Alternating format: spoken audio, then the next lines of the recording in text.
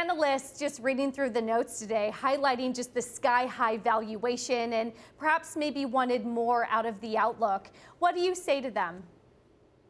Well, I'll say we're, we're very happy with our quarter. We, we're super happy with the year and you know even more optimistic about what's coming, what's coming next. I would say, you know, I, I, don't pay too much attention to the stock going up and down a few a few percent, you know, every other day. I think that's part for the course when you when you have really high growth.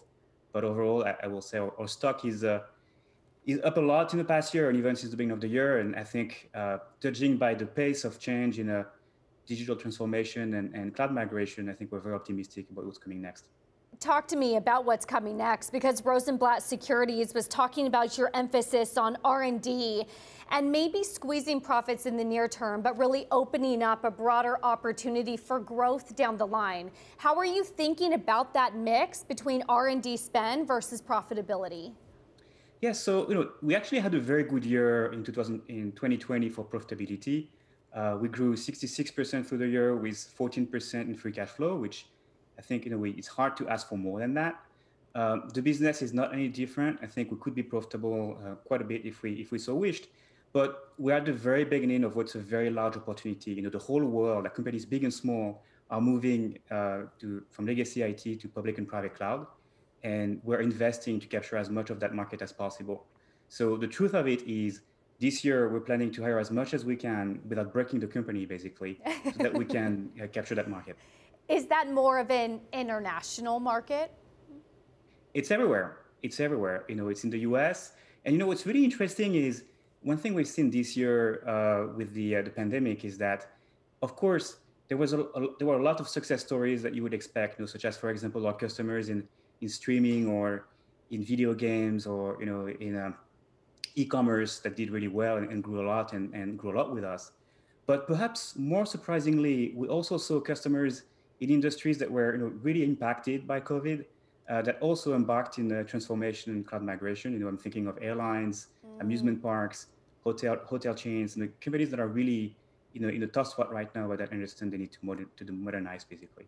Have so they... what this means is you know there's a very large opportunity uh, opportunity ahead of us, and, and you know we, we want to go after it. Yeah, have some of those companies indicated to you that tech spend is going to come back really strong when it can? Uh, well, as far as we're concerned, like we're where the, the spending is going, right? We're in the next generation, we're in the cloud, where the investment is being made and, and the part of the stack that is growing very fast. So there was never a concern for us that you know this was going to compress and go away.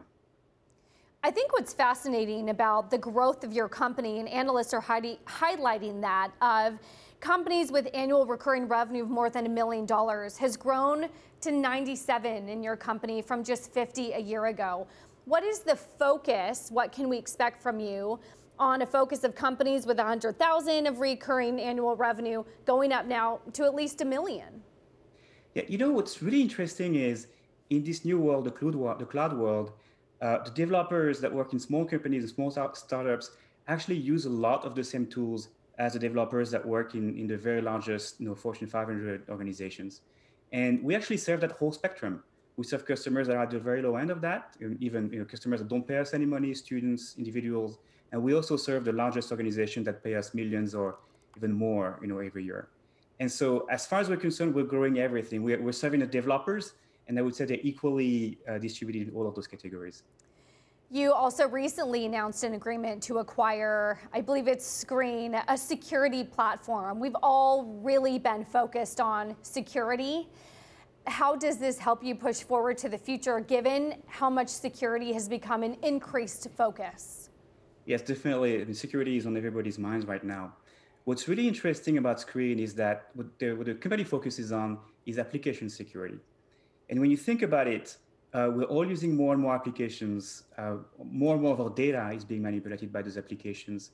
And so these applications are getting more and more complex and more and more of them are being de uh, developed. But at the same time, it's really, really hard to secure them as they're getting more complex. I mean, the developers that build them, they have a hard time of understanding how the applications even work. So it's even harder to secure them.